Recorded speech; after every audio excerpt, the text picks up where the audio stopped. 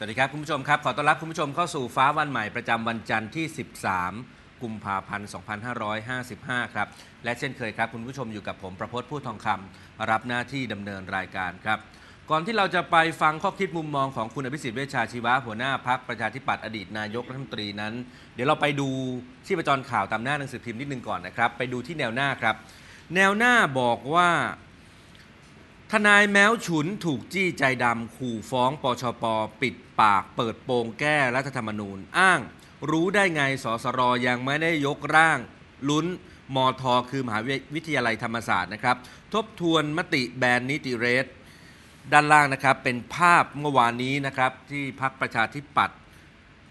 ย่านถนนพระราม 6 เนี่ย ได้มีการจัดเสวนาตั้งโจทย์ประเทศไทยหวังอะไรจาก ทัวร์น้ำท่วมนะครับ ซึ่งคุณอภิสิทธิ์เวชชาชีวะ หัวหน้าพักประชาธิปัตย์ปาฐกถาเปิดการเสวนา ตั้งโจทย์ประเทศไทยหวังอะไรจากทัวร์น้ำท่วมณลานพระแม่ธรณีเบียบมวยผมที่ทำการพักประชาธิปัตย์เป็นการเกาะติดคู่ขนานกับทัวร์นกแก้ว แก้ปัญหาน้ำท่วมของรัฐบาล ด้านขวานะครับพาดหัวไม้ บอกว่าเอกยุทธ์ปชปคาใจว5บี้ยิ่งลักษณ์แจงภารกิจโฟซีซันไปพบใครเพื่ออะไร ท้าเหลิมเจอกันซึ่งหน้าพอทอคือเพื่อไทยนะฮะฮึ่มจ่อดำเนินคดีนพดลรับคุยนักธุรกิจ เอกยุทธ์อัญชันบุตรนักธุรกิจชื่อดัง และผู้เคยต่อต้านพันตำรวจโททักษิณชินวัตรอดีตนายกรัฐมนตรี ชี้แจงผ่านเว็บไซต์ไทยอินไซเดอร์เมื่อวันที่ 12 ที่ผ่านมานะครับ กรณีจิรายุห่วงทรัพย์ ออกมาแถลงว่าการไปโรงแรมโฟร์ซีซันของยิ่งลักษณ์ชินวัตรซึ่งเดี๋ยวรายละเอียดคงจะพูดกันต่อนะครับ ด้านล่างถัดมา มาร์คให้การบ้านปู 10 ข้อ ทัวนกแก้วแก้น้ำท่วม รุมถล่มบริหารพลาด พร่องน้ำเหลวยกแรกพักประชาธิปัตย์เมื่อวานนี้นะครับ ที่มีการจัดเสวนารวมทั้งมีข้อเสนอเรื่องของการที่จะตอบโจทย์คำถาม จากคุณอภิสิทธิ์เวชชาชีวะ ถึงเรื่องของการแก้ปัญหาน้ำท่วม เดี๋ยวเราจะไปฟังข้อคิดมุมมองนะครับต่อ หลาย ๆ ข่าวนะครับที่เกี่ยวข้องเรื่องของสถานการณ์บ้านเมืองก็ดี เรื่องของอุทกภัยที่กำลังจะมาถึงก็ดี เดี๋ยวจะไปคุยกันนะฮะ เรามาที่ไทยโพสต์นิดหนึ่งนะฮะเคาะชีวิตคนใต้เท่ามือเผาเมืองเยียวยา 7.5 ล้าน ยงยุทธนั่งหัวโต๊ะถกเคาะค่าเยียวยาไฟใต้เท่าแดงเผาเมืองรายละเอียดรายละขออภัยครับ รายละ 7.5 ล้านบาท ชดใช้ตั้งแต่กรือเซเมษายน 47 เตรียมดันเข้าคอรมอทันทีนะครับ ซึ่งเรื่องนี้ก็คงจะต้องมีการวิเคราะห์เจาะลึกกันต่อ แต่ว่าในตอนนี้เราไปฟังข้อคิดมุมมองของคุณอภิสิทธิ์เวชชาชีวะหัวหน้าพักประชาธิปัตย์กันก่อนนะครับ คุณอภิสิทธิ์สวัสดีครับ สวัสดีครับครับ เมื่อวานนี้ที่พักประชาธิปัตย์ตั้งเวทีเสวนาตั้งโจทย์ ประเทศไทยหวังอะไรจากทัวร์น้ำท่วม แล้วคุณอภิสิทธิ์ไปตั้งโจทย์นอกจากตั้งโจทย์ในเวทีแล้วยังตั้งโจทย์คำถามกับนายกรัฐมนตรีด้วยนะครับ เรื่องเดียวกันแหละครับ ครับ เพราะว่าสิ่งที่เรากำลังพูดอยู่ในขณะนี้เนี่ยก็คือ ความห่วงใยของประชาชนในเรื่องของปัญหาน้ำท่วมในปีนี้นะครับ ครับ ซึ่งมีการคาดการณ์อะไรต่างๆนานา แล้วก็ต้องการความชัดเจนอืมมั่นใจว่าจะไม่ซ้ำรอยปีที่แล้ว ครับนะครับ ทีนี้หลายเรื่องเนี่ยก็เป็นประเด็นที่ต้องมีการติดตามนะครับอืมก็มีการตั้งโจทย์กันขณะเดียวกัน จะเห็นได้ว่ารัฐบาลเนี่ยจะพูดถึงเรื่องของ ความพร้อมของแผนครับอยู่นะครับ แต่ว่าตัวแผนจริง ๆ เนี่ย ที่มีการอธิบายให้พี่น้องประชาชนรับรู้รับทราบเนี่ย ก็แทบไม่มีเลย อืมเมื่อเป็นอย่างนั้นเนี่ยนะครับ การที่นายกรัฐมนตรีจะทำทัวร์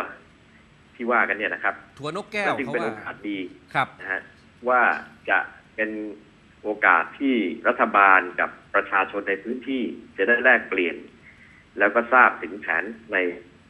ช่วง หน้าหน้าฝนหรือว่าฤดูน้ำอะนะครับ ที่น้ำมาเนี่ยว่าจะจะป้องกันจะเปลี่ยนแปลงการบริหารจัดการกันอย่างไรครับนะฮะเพราะฉะนั้นผมก็เลยบอกว่าเราต้องตั้งโจทย์นะครับ เพราะว่าไม่งั้นนายกรัฐมนตรีเดินทางไป ผมไม่ทราบว่าเอ่อทั้งหมดกี่จังหวัดกี่วันเนี่ยนะครับ ครับ แล้วเดี๋ยวจะไม่ได้อะไรถูกไหมครับอืมอ่าเป็นโอกาสทอง เพราะฉะนั้นผมก็เลยตั้งโจทย์ไว้ว่า สิ่งต่อไปเนี้คือสิ่งที่เราอยากจะเห็นนะครับก็รวบรวมมาทั้งหมดสิบข้อนะครับอืมข้อที่หนึ่งนะครับบอกว่าต้องไปตรวจดูการชดเชยเยียวยาผู้ประสบภัยหลังน้ำท่วม ทั้งเงินชดเชย 5,000 เงินชดเชยเกษตรกรและอื่น ๆ ว่าจำนวนผู้ได้รับความช่วยเหลือมีจำนวนเท่าใด ถูกต้องครับ เพราะว่าเรื่องนี้เนี่ยความจริงนายกในเวลาเอ่อพูดตามที่ต่างๆจะบอกว่าการจ่ายเงินครั้งเนี้ยมีความรวดเร็วกว่าครั้งที่แล้วอะไรต่างๆเนี่ยนะครับผมครับก็ไม่ทราบว่าใครเขียนให้ท่านอืม ในในลักษณะของการพูดจาเป็นเชิงการเมืองครับแต่ประเด็นก็คือว่าจริง ๆ จากที่เราได้ติดตามทั้งในแง่ของมติครมตัวเลขต่างๆ แล้วการบุกพื้นที่เนี่ย เงินห้าพันก็ดีเงินสองหมื่นสามหมื่นก็ดีเนี่ย ยังมีประชาชนจำนวนมากยังไม่ได้รับโอ้นะครับ นี่ครับก็เข้าสู่เดือนกุมภานะครับ เสนาก็ท่วมไปอีกรอบแล้วนะครับครับ เราก็อยากรู้ว่าสรุปแล้วตรงนี้เนี่ย การบริหารจัดการเนี่ยจะเสร็จสิ้นเรียบร้อยเมื่อไหร่อืม นะครับฉะนั้นตรงนี้เนี่ยเป็นสิ่งที่ผมคิดว่าเป็นหนึ่งในโจทย์นะครับ ที่รัฐบาลควรต้องตอบคือท่านนายกเดินทางครบแล้วเนี่ยอาจจะสรุปให้เราทราบหน่อยว่าตกลงคนที่เขายังไม่ได้สตังค์เนี่ย การชดเชยเหลือกี่คนอืมนะครับ แล้วก็จะได้รับการชดเชยเมื่อไหร่ ผมซึ่งว่าอันนี้เป็นเป็นโจทย์ที่ควรจะต้องตอบนะครับ เพราะว่าเวลาก็เนิ่นนานมามากแล้วครับซึ่งโดยระบบการจ่ายเงินชดเชยเนี่ยมันมีหน่วยงานที่เกี่ยวข้องหลายหน่วยใช่ไหมครับหน่วยงานพิจารณาหลักฐานเอกสารหน่วยงานพิจารณาเรื่องเงินจ่ายเงินชดเชยในส่วนของธนาคาร ซึ่งถ้าครัหาบกมีกลไกในการไปสนับสนุนแล้วก็ติดตามเนี่ยมันก็จะทำให้เร็วขึ้นด้วยใช่ไหมครับครับคือมันมีขั้นตอนของมันอยู่แล้วนะครับก็เรื่องนี้เป็นเรื่องที่รัฐบาลที่แล้วเริ่มต้นเอาไว้ครับ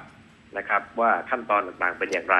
เพราะฉะนั้นการเร่งรัดแล้วก็การกำหนดหลักเกณฑ์อะไรต่างๆ มันสามารถทำได้อยู่แล้วนะครับ วันนี้เนี่ยผมว่ามันเวลามันเนิ่นนานมามากแล้วครับจริงๆเงินห้าพันบาทมีปัญหาน้อยกว่าสองหมื่นสามหมื่นบาทอืมที่หลายคนยังสับสนแล้วก็มองไม่เห็นเลยครับ ว่าจะได้รับการชดเชยเยียวยาหรือเปล่าครับครับจอันนนี้ก็เรื่องที่หนึ่งนะครับครับ เรื่องที่สองคุณพิสิทธิ์บอกว่าสรุปโครงการที่เกี่ยวกับการระบายน้ำว่ายังมีครูคลอง ประตูระบายน้ำที่ต้องได้รับการซ่อมแซมอีกกี่แห่ง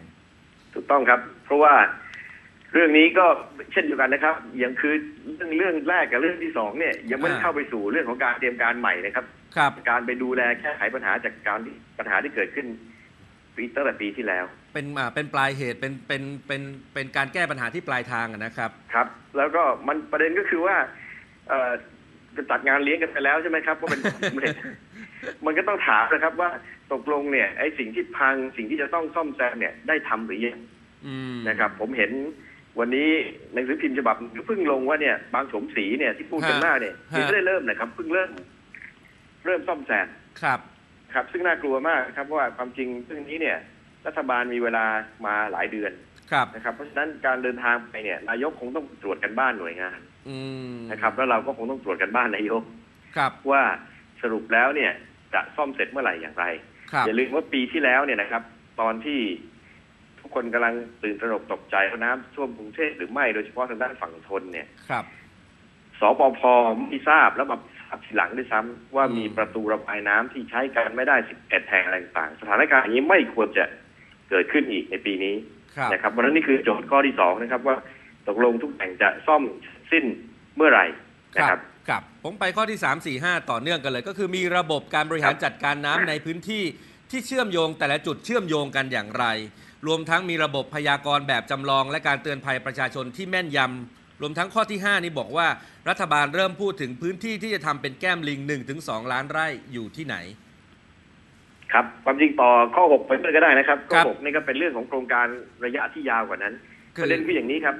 รัฐบาลเองเนี่ยพูดหลักการแผนมาเนี่ย ก็คงไม่ต่างจากนี้มากนะอืมนะครับหนึ่งเนี่ยจะต้องมีการคือเวลาที่บอกมีกรรมการนะฮะ มีการบังคับบัญชาจากจุดเดียว ครับแต่ประเด็นก็คือว่าระบบการเชื่อมการระบายน้ำตามจุดต่างอืม ๆนะครับ ผมคิดว่าตรงเนี้ยนายกเดินทางไปที่ไหนเนี่ยคงจะต้องแสดงให้เห็นว่าขณะนี้มีการเชื่อมโยงกันด้วยวิธีใด ถ้ายังไม่มีจะทำได้เมื่อไหร่ด้วยระบบอะไรนะครับ อืมแล้วก็ถัดมามันก็จะมาเกี่ยวกับการที่มีแบบจำลองใช่ไหมครับ ครับ แล้วก็บอกได้ว่าถ้าตกเท่านี้ที่บริเวณนี้ก็คาดการณ์ว่าน้ำจะท่วมหรือไม่ท่วมแค่นี้ครับ และจากจุดนี้ไปแล้วจะไปที่ไหนต่อ อันนี้ก็จะเป็นจุดที่นำไปสู่การเตือนภัยที่มีประสิทธิภาพได้อืมนะครับ ซึ่งทั้งสองส่วนเนี่ยความจริงตอนที่กยนกยอเริ่มทำงานก็บอกว่าสองส่วนเนี้ยภายในเดือนมกราคมจะเสร็จครับนะครับ เพราะฉะนั้นตรงนี้ก็เป็นสิ่งที่เราจะเป็นที่จะต้องเรียกร้องให้มีความชัดเจนนะครับอืมในส่วนของฟลัดเวย์หรือการกำหนดพื้นที่นะฮะความจริงไม่ใช่แค่ฟลัดเวย์นะครับ ในส่วนของพื้นที่ที่เป็น พื้นที่รับน้ำแก้มลิงทั้งหมดเนี่ยครับ คือเวลานี้เริ่มพูดกันมากขึ้นมากขึ้นถูกไหมครับอืมแล้วก็เป็นเรื่องแปลกที่ว่าทั้งทั้งๆที่มีการพูดกันมาก แต่ประชาชนไม่มีโอกาสได้รู้เลยโอ้ครับ ว่าอยู่ที่ไหนอืมนะฮะซึ่งหมายความว่าถึงเวลาจริง ๆ มันจะทำได้ตามที่วางแผนได้หรือเปล่านะฮะโอ้ถ้าประชาชนเขาไม่มีโอกาสรู้นะฮะการพูดว่ายังบอกไม่ได้ เพราะเดี๋ยวประชาชนจะเอ่อ คัดค้านนะฮะมวลชนจะคัดค้านเนี่ย มันคิดอย่างนั้นไม่ได้นะครับเพราะถึงเวลาจริงๆเนี่ย ปัญหานี้ก็จะไม่หมดไปนะครับ สู้การทำความเข้าใจให้ตรงกันว่าตกลงกำหนดไว้ที่ไหนอย่างไรอืมนะครับ แล้วก็ต่อด้วยการเจรจานะครับ ฟังเสียงพี่น้องประชาชนซะว่าถ้าเป็นอย่างนี้แล้วเนี่ย ยอมรับกันได้หรือไม่มีทางเลือกอื่นหรือไม่ ถ้าไม่มีจะชดเชยเยียวยาอย่างไร ครับนะครับ อย่างนี้ก็จะได้รับความร่วมมือแล้วก็ไม่เกิดปัญหามวลชนขึ้นอืมนะครับ เพราะฉะนั้นตรงนี้ก็เป็นสิ่งที่ผมคิดว่าจำเป็นจะต้องเออทำให้สำเร็จครับ โอ้ไม่งั้นรัฐบาลก็จะถูกอ้างได้ว่ามีผู้รวบรวมที่ดินเพื่อที่จะไปเวรคืนเรื่องฟลัดเวย์ถ้าหากมีการรู้ข้อมูลภายใน อันนี้ก็กลายเป็นเรื่องที่จะสร้างปัญหาให้กับรัฐบาลในอนาคตด้วยครับ อืมครับ อันนี้ก็เป็นเป็นเป็นส่วนของฝัดเวย์นะครับ แล้วก็ แล้วก็พื้นที่รับน้ำทั้งหลายที่จะมีกำการกำหนดแก้มลิง และเช่นเดียวกันนะครับ ถ้ามีโครงการระยะยาวที่อ้างว่าจะต้องมีนะอาจจะเป็นโครงการขนาดเล็กขนาดกลางขนาดใหญ่สุดแล้วแต่อืมการลงพื้นที่ครั้งนี้ก็ควรจะบอกให้พี่น้องประชาชนทราบอย่างโปร่งใสว่ามีแนวความคิดที่จะทำโครงการอะไร เพราะว่าในที่สุดก็ต้องเข้าสู่กระบวนการของการรับฟังความเห็นของประชาชนครับครับครับข้อข้อที่ 7 บอกว่าการพิจารณาจัดตั้งหน่วยงานกลาง ซึ่งอยู่นอกระบบราชการ เพื่อเชื่อมโยงประสานงานแต่ละหน่วยงานเพื่อการจัดการน้ำ จะเป็นในลักษณะใดครับ คือข้อเจ็ดกับข้อแปดที่ตั้งไว้นะครับ ก็คืออ่าเรื่องที่เกี่ยวข้องกับการทำงาน และก็เกี่ยวข้องกับกับคนโดยตรงนะคครัรับบด้านหนึ่งก็คือคนที่เราได้เห็นนะฮะเยอะแยะไปหมดในสังคมตอนนี้ที่เป็นจิตอาสา อืมที่อยากจะเข้าไปช่วยงาน เวลาที่เกิดน้ำท่วมครับปัญหาที่ผ่านมาก็คือว่ามันไม่มีหน่วยงานที่ทำหน้าที่ในการติดต่อประสานให้กับพวกนี้ อืมนะครับ เพราะฉะนั้น ตรงนี้ที่ผมเคยเสนอไปองค์การมหาชนหรือผมไม่ติดใจนะครับ ว่าต้องเป็นรูปแบบที่ผมเสนอ แต่ว่ามันควรจะมีหน่วยงานนะครับที่สามารถที่จะเข้ามาดูแลตรงนี้ได้ คือครับต้องได้ทราบว่าเมื่อวานนี้เนี่ย ในการสัมมนาเนี่ยนะเราก็เชิญทั้งอาจารย์เอ่อนักวิชาการนะครับ ซึ่งก็ได้พูดเรื่องประเด็นที่เกี่ยวข้องกับข้ออื่นที่เราคุยกันไปแล้วครับนะครับแต่เราก็ได้คุยกับคนที่เป็นอาสาสมัครนะครับอืมทั้งที่ไทยฟลัดทั้งอาสาดูสิตเนี่ย ผมคิดว่าเขาก็ยืนยันได้ว่า เออเขาจะสามารถช่วยรัฐบาลหรือช่วยประชาชนได้มากกว่านี้ครับนะครับ ถ้ามันมีการจัดระบบของการ ที่จะทำให้เขาสามารถที่จะมีการประสานงานได้อย่างมีประสิทธิภาพมากขึ้น รู้ว่าที่ไหนต้องการความช่วยเหลือมากที่สุดนะครับ การประสานงานในสิ่งอำนวยความสะดวกต่างๆควรจะติดต่อไปที่ไหนอย่างไรทำยังไงไม่ให้ซ้ำซ้อนกับกลุ่มอื่นๆที่กำลังจะเข้ามาอืมอย่างนี้เป็นต้นนะนะครับอืมเพราะฉะนั้นอันนี้ก็เป็นเป็นส่วนส่วนส่วนหนึ่ง อีกส่วนหนึ่งก็คือ เรื่องของคนที่ได้รับผลกระทบในพื้นที่ซึ่งน้ำท่วมรุนแรงครับนะครับ ก็คือปัญหาการอพยพอ่าระบบอันอพยพแบบสากซึ่ลงและที่ผ่านมาเนี่ยส่เราก็ทำแบบแบบแหมไม่รู้จะใช้คำว่า แบบของเราอะนะฮะคืออาแจ้งบอกอะอพยพ แล้วก็ไม่รู้ว่าอพยพไปไหนฮะใครพาไปนะครับเอ่ออพยพนี่ก็เหมือนกับว่าใครอยากออกก็ออก ใครอยากอยู่ก็อยู่ครับ ใช่ไหมครับ สุดท้ายก็การบริหารจัดการยุ่งยากมาก ผมว่าตรงนี้ก็เป็นอีกประเด็นหนึ่งนะครับ ที่นายกไปเนี่ย ได้พบกับทางผู้ว่าราชการจังหวัดกับหน่วยงานต่างที่เกี่ยวข้องอืมน่าจะซักซ้อมวิธีการทำงานในเรื่องนี้เสียครับ ครับ ซึ่ง เรื่องเรื่องศูนย์อพยพหลายหลายศูนย์ที่ผ่านมาก็มีการอพยพซ้ำซ้อนแล้วศูนย์อพยพก็กลายเป็นพื้นที่ประสบภัยด้วยนะครับ ซึ่งรายละเอียดก็ต้องต้องว่ากันอีกทีนะครับ ข้อที่ 9 บอกว่าการสร้างเขื่อนในนิคมอุตสาหกรรมมาตรการประกันภัยให้ประชาชน ทั้งครัวเรือนผู้ประกอบการขนาดกลางและย่อย และนิคมอุตสาหกรรมจะมีความชัดเจนอย่างไร และข้อ ครับ 10 นะครับ ขณะนี้มีการสร้างนิทานว่าเหตุการณ์น้ำท่วมปี 54 เป็นความผิดของประชาธิปัตย์ในช่วงที่นายกรัฐมนตรีลงพื้นที่ตั้งแต่ต้นน้ำถึงปลายน้ำถ้านายกรัฐมนตรีเก็บข้อมูลและจำนวนโครงการใดที่ยังไม่มีงบประมาณแก้ไขน้ำให้มาบอก และตนก็พร้อมจะถอนชื่อ จากการขอให้สารรัฐธรรมนูญตีความพระราชกำกำหนดทั้งสองฉบับด้วยนะครับ ครับก็ในส่วนของเอเรื่องของนิคมอุตสาหกรรมนะครับ มันก็เป็นปัญหาเฉพาะนะครับ เมื่อวานก็มีธุรกิจที่มาร่วมในรายการด้วยผมคิดว่าตรงนี้เขาก็ยังรอความชัดเจนกันอยู่นะครับ เพราะว่า แนวเรื่องของการไปก่อสร้างเขื่อนเองเนี่ย จริงๆก็ไม่ใช่เป็นเอ่อคำตอบที่ที่ที่ดีเท่าไหร่นะครับ แต่ว่าก็อาจจะมีความจำเป็นเฉพาะหน้าเฉพาะกลุ่มแต่ก็ยังมีปัญหาอยู่มากเช่นเดียวกับเรื่องการประกันภัยครับ ครับ ผมเข้าใจว่าเส้นทางการทัวร์ของนายกยังไง ก็ต้องหนีไม่พ้นที่จะต้องไปเกี่ยวข้องกับเจ็ดกรมอุตสาหกรรมอืมนะครับ ซึ่งเป็นเรียนราคาแพงจากเอ่อปีที่แล้วนะครัครับบเพราะฉะนั้นเรื่องนี้ก็ควรจะได้มีการเอ่อสรุปออกมาว่า สุดท้ายแล้วขณะนี้แผนจริง ๆ คืออะไรเดินได้หรือไม่นะครับอืมส่วนข้อสุดท้ายเนี่ยก็เป็นประเด็นทางการที่ขณะนี้ที่ผมบอกครับว่ารัฐบาลพยายามจะไปอ้างว่าการส่งตีความกฎหมายเป็นอุปสรรคขัดขวางต่างๆ ก็ในเมื่อจะไปทูเนี่ย ผมว่าก็ดีนะครับ นายกลองรวบรวมมาสิครับ ว่าที่อ้างว่ามีโครงการเร่งด่วนต้องทำก่อนนะมา แล้วจะทำไม่ได้ถ้าหากว่าไม่ได้กู้เงินเนี่ยอืมโครงการไหนอย่างไรครับ ใช้เงินเท่าไหร่นะครับ แล้วมันมากกว่าเงินที่มีอยู่ในมือนายกประมาณแสนกว่าล้านหรือเปล่า อืมครับสังคมก็จะได้คำตอบนะครับก็เลยคิดว่าสิบข้อนี้น่าจะเป็นโจทย์ที่เอ่อเราก็จะใช้ในการตรวจสอบการทัวร์ของนายกนะครับ ครับ แล้วก็ที่คิดกันไว้ก็คิดว่าสัปดาห์หน้าอาจจะมาตรวจกันบ้านกันตรวจกันบ้านในนะเวฮะทีคล้ายๆ กับที่จัดขึ้นเมื่อวานอีกทีโอ้ครับ ก็ให้เวลานายกทำกันบ้านเนี่ยหนึ่งสักอาทิตย์หนึ่งนะฮะ หลังคืจาอก ไม่เวลามันถูกกำหนดโดยนายกอยู่แล้วนะครับ ในการทัวร์นะครับก็ครับ ไม่ได้บอกว่าทุกอย่างต้องได้ตามนี้หมดนะครับ แต่อย่างน้อยเนี่ยนายกน่าจะมีคำตอบว่าอะไรที่ยังไม่ได้เนี่ย จะได้เมื่อไหร่ครับ นะครับ มันจะได้เกิดความเชื่อมั่นในเรื่องของการป้องกันน้ำท่วม อืม ครับ นอกจากเรื่องที่เกิดขึ้นเมื่อวานที่พักประชาธิปัตย์คุณพิสิทธิ์มีโอกาสไปประชุมสาขาพักที่บางคอแหลมด้วยนะฮะเมื่อวานนี้นะครับ ใช่ครับใช่แล้วคก็รับกำชับในส่วนของสมาชิกพักเรื่อง 3 เรื่องเรื่องของการติดตามเอ่อ นโยบายของรัฐบาลก็คือแก้ปัญหาน้ำท่วม เรื่องสินค้าแพง แล้วก็เรื่องของการสร้างแนวความคิดในการปรองดองของคนในชาติ ใช่ไหมครับ ก็ไม่น่าเชื่อนะครับ ปรากฏว่าดูสิทธิโพลสำรวจออกมาว่า ผลงานที่ประชาชนยังไม่พอใจเนี่ยสามเรื่องนี้พอดีเลยครับโอ้สามเรื่องนี้พอดี แต่ปรองดองน่าจะน่าจะดีแล้วไม่ใช่เหรอครับเขาจัดงานเลี้ยงไปเมื่อวันศุกร์ที่ผ่านมาเนี่ย ไม่ทราบครับว่าดูสิทธิโพลไปถามก่อนวันศุกร์หรือเปล่านะเพราะเพราะแต่สิ่งว่าฮะฮะแต่ว่าฮะผมก็ไม่แน่ใจว่าเอ่อนอกเหนือจากคนที่อยู่ในงานกับคนที่ดูทีวี แล้วก็อาจจะได้ดูบรรยากาศสวยๆงามๆที่ทำเนียบมีดนตรีที่ไพเราะเนี่ยแต่ถามว่าวันเสาร์เช้ากับวันศุกร์กลางคืนเนี่ย พื้นฐานปัญหาความขัดแย้งในสังคมมันตายถึงเดิมหรือเปล่าอืมนะครับอืมเพราะผมก็ยืนยันมาตลอดว่า จริงๆเนี่ยเรื่องของท่านประธานองคมนตรีเนี่ยครับเป็นเรื่องที่ฝ่ายแกนนำเสื้อแดงเนี่ยเป็นคนพูดอยู่ฝ่ายเดียว อืมนะครับ เป็นคนปลุกระดมขึ้นมานะครับวิพากษ์วิจารณ์เอ่อพูดถึงท่านอย่างเสียหายหายๆแล้วก็อ้างว่าท่านเนี่ยอยู่เบื้องหลังเกี่ยวข้องกับความขัดแย้งต่างอืมๆนะครับ ซึ่งจริงๆแล้วเนี่ยสถาบันขององคมนตรีเนี่ยไม่ได้ยุ่งเกี่ยวอะไรกับเรื่องการเมืองครับ นะครับ แล้วก็ผมก็ไม่เห็นท่านออกมาตอบโต้ว่าท่านก็ไม่ได้ทะเลาะกับใครอ่า นะครับ วันดีคืนดีก็บอกว่าเอาออกงานด้วยกันเนี่ยแปลว่าดีกันแล้ว มันเรื่องของเสื้อแดงอย่างเดียวครับ มันครัไม่บ ได้ไปเกี่ยวอะไรกับใครครับ บางคนก็บอกว่าแหมภาพที่ปรากฏนี่เสื้อแดงบางส่วนนี่เหมือนถูกต้มจนเปื่อยไปเลยไม่รู้ตัวนะครับ ก็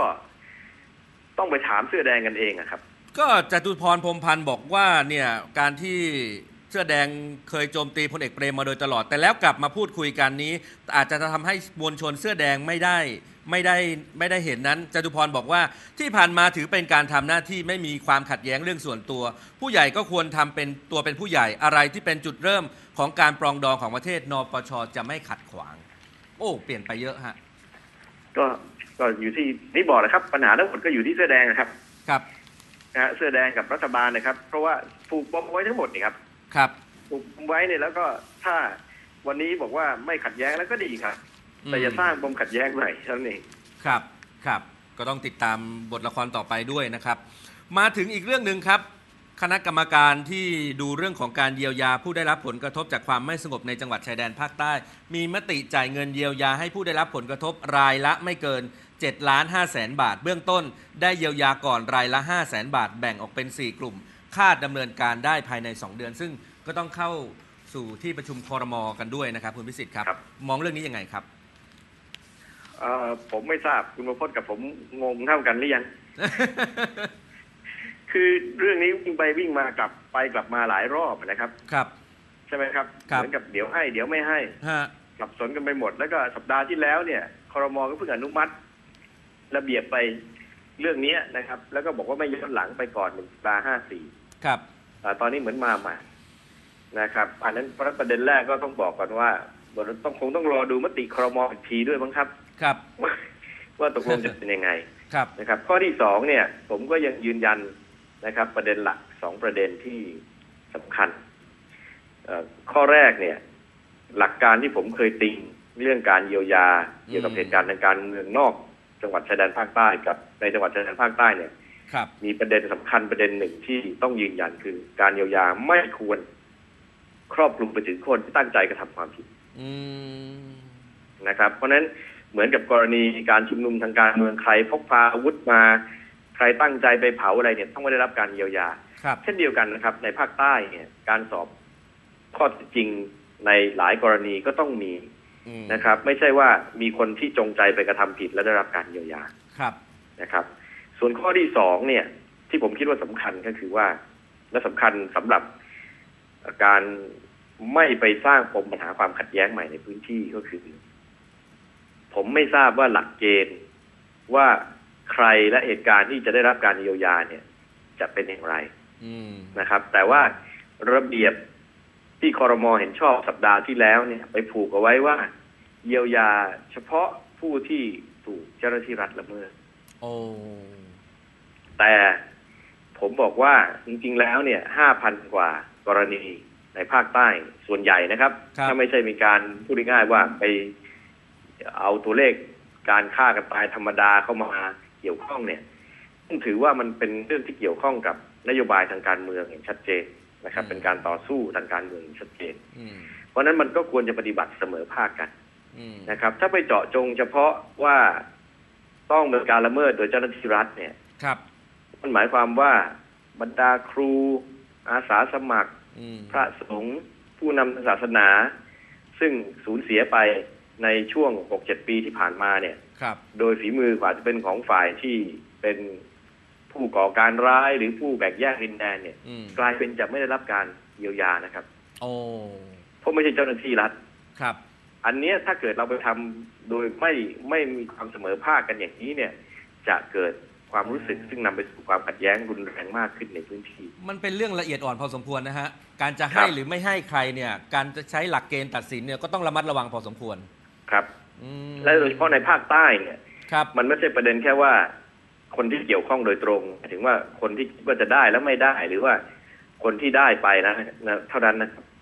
มันไปกระทบกับความรู้สึกของประชาชนในพื้นที่ในภาพรวมอืมถ้าหากว่าหลักการสองข้อที่ผมได้พูดไปเมื่อสักครู่เนี่ย มันไม่มีการยึดอย่างอย่างชัดเจนนะครับ อย่างเคร่งครัดครับครับการเยียวยาชดเชยการที่ตั้งตัวเลขไว้ค่อนข้างสูง7ล้าน5แสนเนี่ยดูตัวเลขค่อนข้างสูงนะครับแต่ว่าในงบประมาณก็มีข้อจำกัดเนี่ยการที่จะใช้การเยียวยาเป็นเครื่องมือในการชดเชยเนี่ยควรจะชดเชยในอัตราที่เหมาะสมแล้วกระจายให้ทั่วถึงให้มากที่สุด หรือควรจะตั้งราคาไว้สูงๆก่อน แล้วก็ให้แต่ละกรณีมาเข้าหลักเกณฑ์ให้ทั่วถึง แต่ว่าอาจจะไม่ กระจายทั่วถึงพอสมควรเนี่ยคุณอภิสิทธิ์มองเรื่องนี้ยังไงครับเอ่อคงไปคิดว่าจะมาดูกันทีหลังไม่ได้นะครับ อืมพูดง่ายๆก็คือว่าเมื่ออนุมัติหลักเกณฑ์ไปใครเข้าหลักเกณฑ์ก็ต้องได้ตามนั้นนะครับ ครับ ทีนี้รัฐบาลเองก็ต้องรู้นะครับ ว่าถ้ากำหนดตัวเลขไว้ว่าสมมติว่าเป็นเจ็ดล้านหรือแปดล้านเนี่ยนะครับครับ เอ่อแล้วก็มีผู้เกี่ยวข้องประมาณห้าพันคนอืมนะครับ ก็ต้องเตรียมงบประมาณไว้สามสี่หมื่นล้านนะครับ ครับ อืม ก็ต้องมีงบประมาณแล้วไว้แล้วรัฐบาลก็ต้องรับผิดชอบอันนี้กับกับประชาชนเสียภาษีกรนะครับ ครับ คือผมอยากจะเรียนว่ามันต้องมีเอ่อ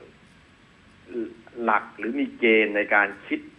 ว่าจะชดเชยเท่าไหร่นะคครัรับบซึ่งที่ผ่านมาก็ไม่ค่อยได้คำตอบที่ตรงกันเท่าไหร่นักนะครับอืมแล้วก็รัฐบาลเองเมื่อตัดสินใจหลักเกณฑ์ไปแล้วก็ปฏิบัติตามนั้น แล้วก็มีหน้าที่ไปหางบประมาณมาครับ ครับ ครับ ก็คงต้องต้องติดตามเรื่องนี้ที่จะเข้าสู่การพิจารณาของคอรมอด้วยนะครับ มาอีกเรื่องสุดท้ายครับ เรื่องที่เป็นข่าวโด่งดังเลย ก็คือเมื่อวันพุธที่ผ่านมาเขามีการตามหาคนหายในสภา แต่ไปโผล่อยู่ที่โรงแรมคุณพิสิทธิ์สมัยเป็นนายกรัฐมนตรีนี่เคยวห้าไหมครับวห้านี่ตอนนี้ดังมากเลย คือการที่บางครั้งเนี่ยมีภารกิจส่วนตัวนะครับ หรืออาจจะบอกไม่เปิดเผยเนี่ย อืมทำได้ครับทำได้นะฮะทำได้ครับ แต่ว่า ผมคิดว่าเมื่อมันเกิดประเด็นขึ้นมาเนี่ย มันก็ควรจะต้องมีการทำความเข้าใจชี้แจงนะครับ แต่สำหรับผมเนี่ย ถ้าเป็นช่วงของวันประชุมสภาเนี่ยเอ่อไม่มีหรอกครับอืมนะฮะเพราะว่าการประชุมสภาการประชุมปรมนะครับ ก็อาจจะ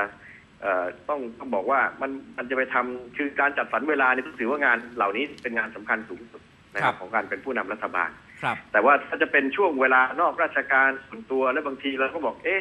นักข่าวจะต้องมาตามเราตลอดเวลาเนี่ยก็คงไม่ใช่ครับนะครับ แต่ว่าช่วงการประชุมสภาเนี่ย นายกต้องมีเหตุผลที่ดีที่ไม่ไม่ไม่มาประชุม อืมนะครับ เมื่อไม่มาประชุมแล้วปรากฏว่ามีคนไปพบอยู่นะครับ ในที่อะไรโรงแรมโฟร์ซีซันหรืออะไรก็ตาม ครับ ก็ถูกตั้งคำถาม เมื่อถูกตั้งคำถามปัญหาเวลานี้เนี่ยชี้แจงกันมาก็สับสนกันไปหมดนะครับ ครับ ใช่ไหมครับเพราะครับเดิมเนี่ยมีตั้งแต่บอกว่าเอ่อท่านเอ่อไปพบนักธุรกิจหรือเปล่า หรือว่าเป็นเรื่องอะไรนะครับอืมเพราะฉะนั้นก็ชี้แจงก็ก็ก็ต้องชี้แจงออกมา และความจริงก็ให้ท่านนายกมาชี้แจงแล้วคนอื่นจะไปรู้ได้ยังไงนะครับครับ คือถ้ามันภารกิจรับเนี่ยคนอื่นก็ไม่รู้ครับนะครับ นายกก็ต้องชี้แจงก็เท่านั้นเองแต่เวลานี้เนี่ยทางพักเพื่อไทยก็ออกมาโจมตีอย่างนั้นอย่างนี้ ก็จะต้องมาโจมตีอะไรใครล่ะครับ ก็ก็คนเขาสงสัยก็ตอบคำถามเรื่องก็จบอืมนะครับ ปัญหาก็คือเวลานี้เลยยิ่งเอ่อพันกันเข้าไปใหญ่นะครับ บอกว่าถ้าไปพบเรื่องธุรกิจหรือไปพบนักธุรกิจ แล้วบอกเป็นเรื่องนโยบายอืมคราวนี้ก็ต้องตั้งคำถามต่อแล้วครับ ว่าแล้วเกิดเป็นเรื่องผลประโยชน์ขัดกันจะว่ายังไง โอ้ครับใช่ไหมครับครับอย่างเช่นถ้าเราบอกว่าเป็นเรื่องนโยบายเนี่ย เกิดสมมุติว่าคุยกันเรื่องฟลัดเวย์ฮะ นะครับ แต่เรากำลังบอกว่าคนที่ไปคุยกันเรื่องฟลัดเวย์เนี่ย เป็นผู้ที่เกี่ยวข้องกับวงการธุรกิจอสังหาริมทรัพย์ฮะและผลประโยชน์ขัดกันทุกนะครับอืมอืมใช่ไหมครับเพราะฉะนั้นตรงนี้แหละครับที่ต้องต้องต้องมีคำตอบออกมาครับ ก็เห็นจะต้องคนอื่นจะต้องโวยวายอะไรครับ ท่านนายกถ้าเกิดอธิบายมาก็จบครับ ครับ ก็ครับรอคำอธิบายจากทางนายกรัฐมนตรีแล้วกันนะครับครับครับ วันนี้ครบเครื่องแล้วครับ ขอบคุณคุณวิสิทธิ์เวชชาชีวะขเป็นอบอคุณย่างสูงครับ สวัสดีครับ สวัสดีครับ นั่นคือคุณอภิสิทธิ์เวชชาชีวะหัวหน้าพักประชาธิปัตย์กับมุมมองฟ้าวันใหม่ จะกลับมาพบกับคุณอภิสิทธิ์ได้ในวันพรุ่งนี้นะครับ8นาฬิกาแต่ในช่วงถัดไปครับ เดี๋ยวเราจะไปดูครับ นโยบายของรัฐบาลชุดปัจจุบัน โดยเฉพาะอย่างยิ่งที่กระทรวงศึกษาธิการ มีการเตรียมการที่จะนำข้าวที่เป็นสต็อกเก่าในจากโครงการรับจำนำข้าวในอดีตเนี่ยนะฮะเอาไปแลกกับแท็บเล็ต PC ที่จะนำเข้าจากประเทศจีนเนี่ย การแลกกันครั้งนี้มีข้อสังเกตอะไรอย่างไรนะครับ รวมถึงอีกหลาย ๆ เรื่องที่เกี่ยวข้องกับเรื่องของการบริหารจัดการน้ำว่าในปี 55 นี้ ความพร้อมความเชื่อมั่น แล้วก็ศักยภาพสำคัญในการที่จะดูแลรักษาประเทศ ให้ไม่ตกอยู่ในวิกฤตภัยครั้งที่แล้วเหมือนปี 54 ที่ผ่านมานั้น มีความมั่นใจเราจะหวังกับอะไรได้หรือเปล่า เดี๋ยวติดตามในช่วงหน้าช่วงนี้พักกันสักครู่ครับ